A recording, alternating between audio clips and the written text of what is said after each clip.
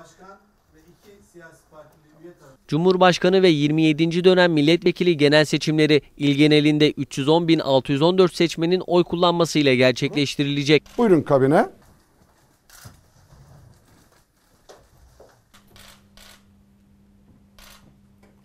Edirne merkezde 129.665 seçmen 376 sandıkta, Enes'de 9.309 seçmen 34 sandıkta, Hafsa'da 15.815 seçmen 54 sandıkta, İpsala'da 21.984 seçmen 74 sandıkta, Keşan'da 62.536 seçmen 205 sandıkta, Uzunköprü'de 49.212 seçmen 164 sandıkta, Dalapaşa'da 5.373 seçmen 31 sandıkta, Süloğlu'da 4.932 seçmen 18 sandıkta, Meriç'te 11.788 seçmen 43 sandıkta olmak üzere. İl genelinde toplam 310.614 seçmen 999 sandıkta oy kullanacak. Cep telefonunuz yanınızda mı?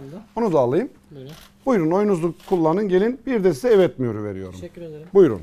Öte yandan Edirne Valiliğinden yapılan açıklamada seçim günü yasakları kapsamında 24 Haziran 2018 Pazar günü sabah 06'dan gece saat 24'e kadar emniyet ve asayişi korumakla görevli olanların dışında ruhsatlı dahi olsa silah taşıması yasak olacak. Oy verme günü sabah 06'dan gece saat 24'e kadar her ne suretle olursa olsun alkollü içki satılması, içkili yerlerle ve umumi mahallelerde her çeşit alkollü içki verimle ve içilmesi yasaklandı. Seçim günü oy verme süresince kahvehane, kıraathane, çay bahçeleri ve internet kafe gibi bütün umumi eğlence yerleri kapalı kalacak. Eğlence yeri niteliği taşıyan lokantalarda yalnız yemek verilebilecek.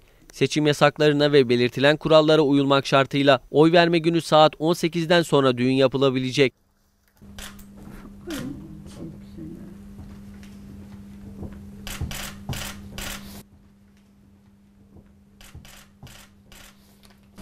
김민우도